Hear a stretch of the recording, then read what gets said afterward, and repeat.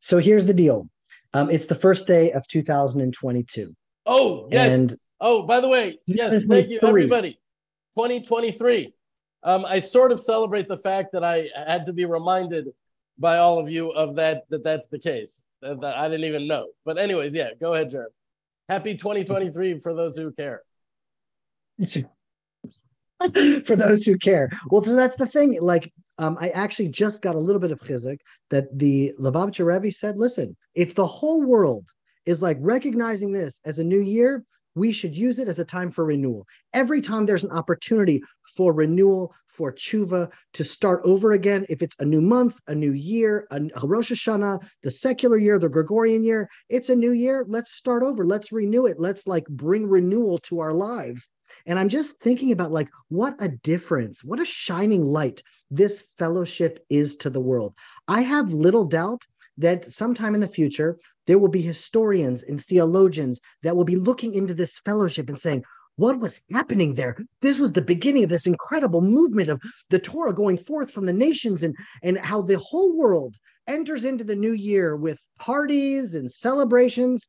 We enter into the new year with prayer, with Torah, with inner work and reflection. And what a shining light that is for the world to see that even in the secular new year, if it's a time for renewal, then the way to enter into the new year isn't with New Year's parties and drunkenness. It's to enter into the new year with prayer, with Torah, and with inner work and with reflection. And so, what I would like to do now is to start off the new year with a prayer together. And so, we are in some ways um, beyond time because there are people that are in different time zones from Africa all the way to America. But I know that there are also people that will be listening to this that are not even live. And they're going to be joining us in this prayer as well. So it's beyond time, it's beyond space. If you're listening to this on Monday or Tuesday, you're joining us now with one heart, with one land, one Torah, with one God, one fellowship.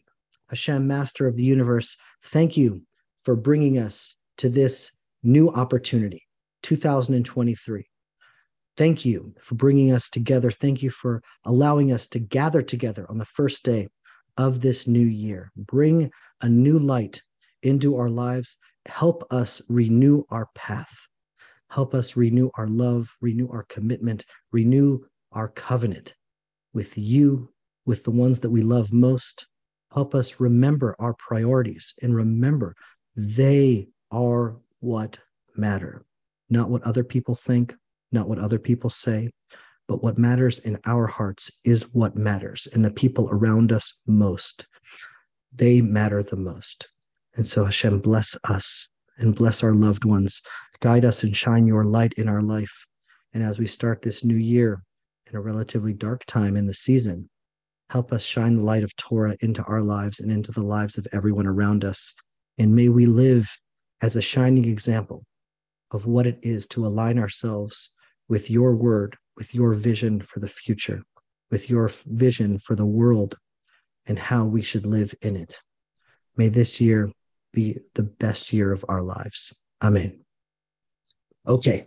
And so, why um, do I want to specifically focus about the new year? I could just ignore it. A lot of people don't like the fact that I'm even recognizing the new year.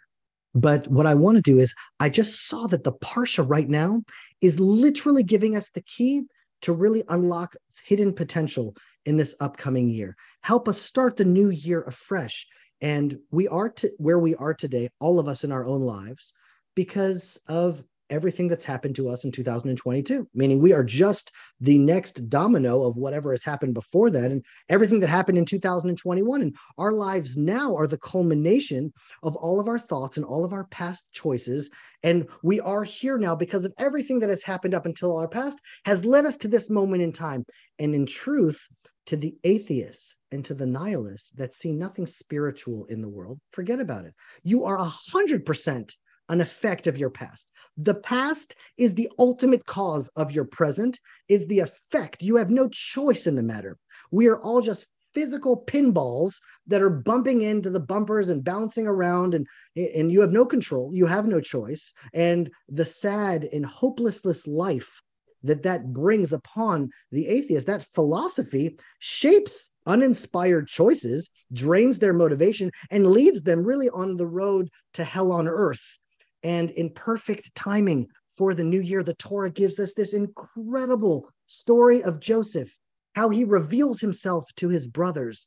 And that's actually a key of revealing our soul in the world and changing everything about whatever was in the past. And all of a sudden, when we arrive at Joseph's stories, he tells the story of how it happened to him. He reveals himself to his brothers. And when he tells that story over to his brothers, we hear a totally different story. It's the first time in the Torah that a story is retold, but the narrative is totally different. I learned this insight from Rabbi Jonathan Sacks. So just look, first, pay attention to what Joseph says to the butler when he's in the dungeon, when he's in prison. Here's what it says in Genesis chapter 40, verse 15. I was forcibly carried off from the land of the Hebrews, and even here I have done nothing to deserve being put into the dungeon. So he's telling over the story of his life. I was betrayed by my brothers. I was kidnapped. I was thrown into a prison, and now, like, this is where I'm at. But when he eventually reveals his identity to his brothers, we hear a totally different story. Look at what it says in chapter 45. Here's what it says I am your brother Joseph, the one who sold, who you sold into Egypt. And now do not be distressed and do not be angry with yourselves for selling me here, because it was to save lives that God sent me ahead of you. For two years now, there, there has been famine in the land, and for the next five years, there will be no plowing and reaping. But God sent me ahead of you to per, to preserve for you a remnant on earth and to save your lives by a great deliverance. So then it was not you who sent me here, but God. He made me father to Pharaoh, lord of his entire household, ruler of all of Egypt. So now we're reading this like, well, it's not a kidnapping story at all anymore.